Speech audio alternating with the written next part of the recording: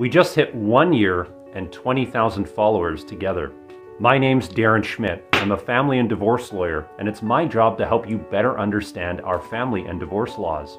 I've also introduced you to this guy with wraparound sunglasses, an irrational actor in our family and divorce system. And we don't want any child support in that. We don't want any spousal support either. Sometimes we flush money down the toilet.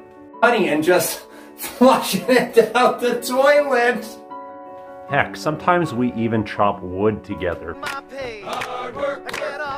My goal in all of this to help you understand our legal system just a little bit better. But if there's one thing I can leave you with, it's this. Thoughts from a divorce lawyer.